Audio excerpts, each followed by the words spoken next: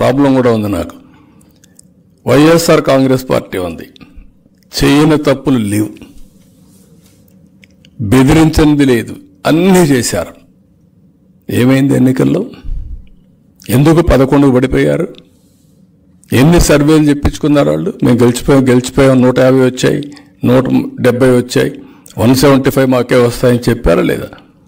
ఎందుకు గెలవలేకపోయారు? అంటే ఆ రోజు వాళ్ళు చేసిన పనులన్నీ ప్రజల్లో మనసుల్లో ఉన్నాయి. విధి లేని పరిస్థితుల్లో ఎవరు మాట్లాడలేకపోయారు.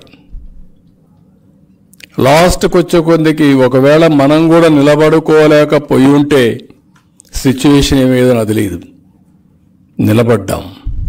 నిలదొక్కున్నాం. ఎదిరించాం. అండగా ఉన్నాం.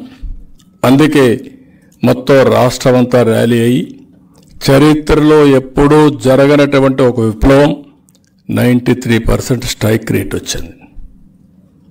ఈరోజు నైంటీ త్రీ పర్సెంట్ వచ్చిందంటే మీరు గుర్తుపెట్టుకోవాల్సిన ఒకటి ఉంది. ప్రతి ఒక్కరు ఆలోచిస్తుంది నేను ఓటేశాను నేను పనిచేశాను నేను కష్టపడ్డాను ఇవన్నీ వాస్తవాలు. అమెరికా నుంచి కొంతమంది వచ్చారు. ప్రపంచంలో అనేక దేశాల నుంచి వచ్చారు. ఐదు లక్షలు పది లక్షలు వాళ్ళ డబ్బులు ఖర్చు పెట్టుకొని ఒక ఓటేయడానికి గెలిపించడానికి నెల రెండు నెలలు మూడు నెలలు ఇక్కడుండి గెలిచిన తర్వాత వెళ్ళారు. వాళ్ళలో డెఫినెట్గా ఉంటుంది. నా వల్ల ఈ పార్టీ గెలిచింది ఒక నాయకుడు ఉన్నాడు జైలుకు పోయాడు. ఒక నాయకుడు ఉన్నాడు టార్చర్ అనుభవించాడు. ఒక కార్యకర్త ఉన్నాడు నిద్రపోలేకపోయాడు ఇంట్లో. వాళ్ళల్లో కూడా ఉంది.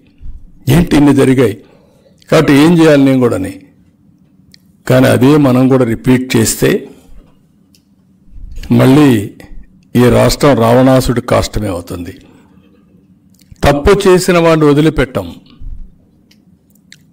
అదే మరిగా తప్పు చేసిన వాడిని వదిలిపెట్టమని మనం కక్ష సాధింపు చర్యగా పోతున్నామని ప్రజలు భావిస్తే వీళ్ళిద్దరికి వ్యత్యాసం లేదనే పరిస్థితి వస్తుంది. అదే మీరు గుర్తుపెట్టుకోవాల్సిన అవసరం ఉంది ప్రతి ఒక్కరు కూడా.